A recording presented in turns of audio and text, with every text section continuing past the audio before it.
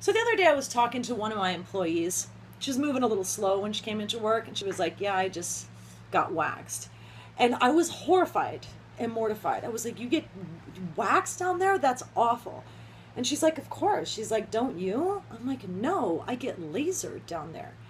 And she was horrified and mortified because to her, the thought of getting lasered was much worse than the idea of wax. Okay, I, I mean, obviously, you know, I mean, let's think about wax. Okay, first of all, we're talking about your girl parts, like your tender, girly parts, your. And then we're going to take hot wax and paint it over the top of it. Because remember, to, for there to be for you to get wax, you have to have, you know, like the fur has to be there because the wax has to stick to the fur. So you have a little fur there, right? They paint the wax over the fur, they put like a cloth on it, and they just rip it out. They just rip it out of your skin. Okay, that's awful. I would never have my girly parts waxed ever. It sounds awful. But she was kind of mortified by the idea of having laser. She's like, What's laser like? I said, Well, it's not like that. I said, It's like a rubber band snap. It's really not that bad you know? Because when you're just saying it here, like you're just having a conversation with someone, you know, it's not that bad. You're not having it done right then. So if some, you know, when someone asks me about it, it's like, well, it's just like having a rubber band snap, you know, it's just, it's, you know, and it lasts way longer. If you're to have your, you know, wax, you're going to do that probably like every four weeks or six weeks or something. At least with a laser, if, you know, once you have that done, then you could probably like you wouldn't have to do that for months at a time. So that just makes more sense to me. Anyway, moving on. So I was telling her, I'm like, oh, it's nothing. You know, I meant, what I meant was it's nothing compared to having it waxed, right? So anyway, um, it was, it's my turn today, right? It was like just that time. So I had to go in to get my, you know, girly parts done. And it's just been, a, you know, like, first of all, let me back this up. Like, women are used to dealing with painful stuff when it comes to beauty, right? Like we have our, you know, we tweeze our eyebrows, which is unpleasant. It's not painful, but it's unpleasant. You know, we bleach our hair. It's not really painful, it's unpleasant. You're just used to having all of these unpleasant things that you do for, for beauty. That's, that's what women do. That's why we're crazy, okay?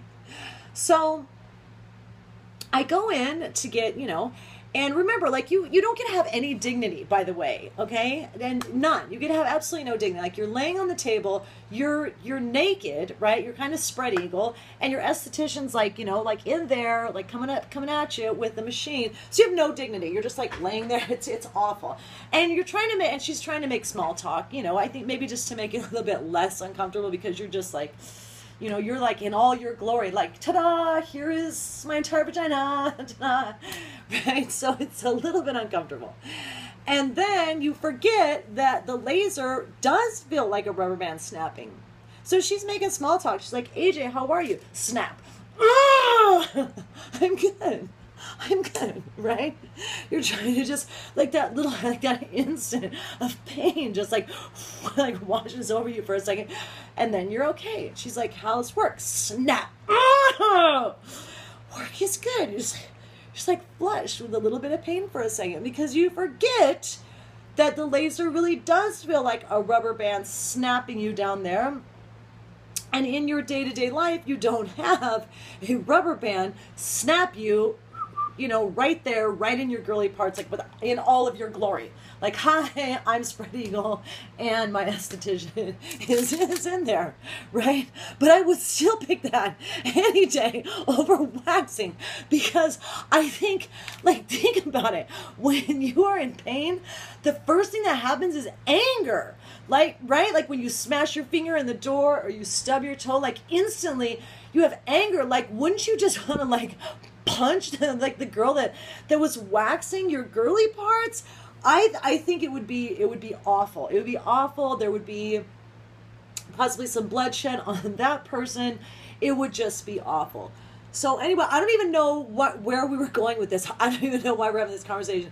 Maybe I just felt it was important to share. Like I had something awful done today, and maybe just you know collectively as a group we could just all be you know sympathetic for a second, and um and yeah, and maybe if you're a girl and you're like mm, I don't know, I'm getting my waxed, you know, because I'm afraid of the laser. I'm saying don't be afraid of the laser because I'm thinking waxing would be much much much worse.